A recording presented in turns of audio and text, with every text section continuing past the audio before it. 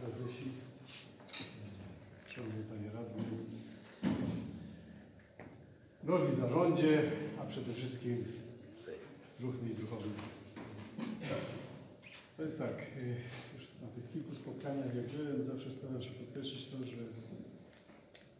w roli prezydenta jest tak, że są miejsca, gdzie jedzie się z obowiązku, ale są też miejsca, gdzie jedzie się z obowiązku i z przyjemnością. I niewątpliwie odwiedzenie strażaków jest tym drugim przypadkiem, gdzie jedzie się z przyjemnością. E, Wynika to z tego, że jesteście taką grupą ludzi w mieście, którzy w bezpośredni sposób wpływają na to, jak miasto może funkcjonować. I to wpływają bardzo dobrze. Ja sobie sprawdziłem teraz ostatni SMS dotyczący zagrożeń był w, y, poniedziałek, 20 przyszedł. I mam świadomość tego, że jak ja dostaję taki SMS, że będą silne wiatry, silne opady i tak dalej, to panu Staszkowi już się na pewno gorzej śpi, a wy możecie się spodziewać wyjazdu. A pan Stanisław y, zadzwoni do mnie dopiero wtedy, jak już będzie bardzo źle.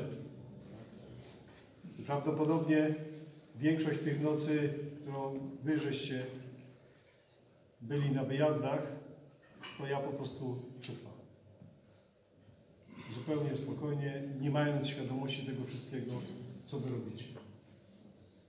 I z tego miejsca, jako przedstawiciel miasta, mieszkańców, serdecznie Wam za to dziękuję, że jesteście i że robicie to, co robicie. A szczególnie Wam, bo jak to już padło tradycyjnie, tak, bo i pokazuje, że macie najwięcej tych, którzy pobierają ten dodatek ratowniczy, czyli było najwięcej tych aktywnych, tych, którzy y, brali udział i dzisiaj jest tak samo, tak? Owszem, są jednostki, które już udało się przebić y, te 100 wyjazdów, a dla Was to jest jakby norma. Tak? W ogóle 200 to jest y, jakiś standard.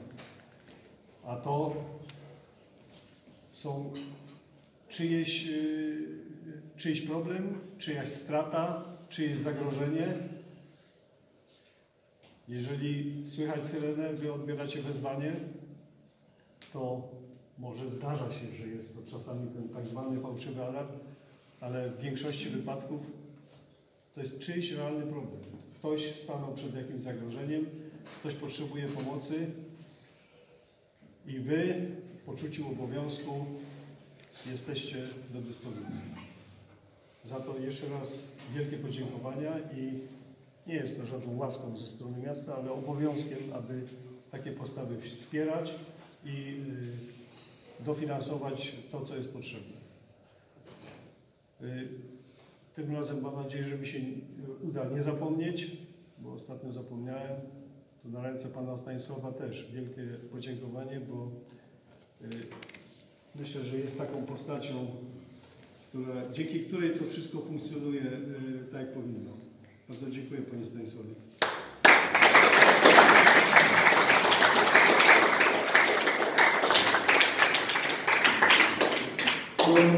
A wszystkim Wam y, życzę, żeby, najlepiej, żeby nie było żadnych wyjazdów, ale myślę świadomość, że tak dobrze to nie będzie. A jeżeli już będziecie wyjeżdżać, żeby z każdego wyjazdu wrócić, wrócić szczęśliwie, w zdrowiu, żeby było tyle samo wyjazdów i powrotów. I opieki patrona świętego Floriana. Wszystkiego dobrego. I jeszcze raz wielkie dzięki.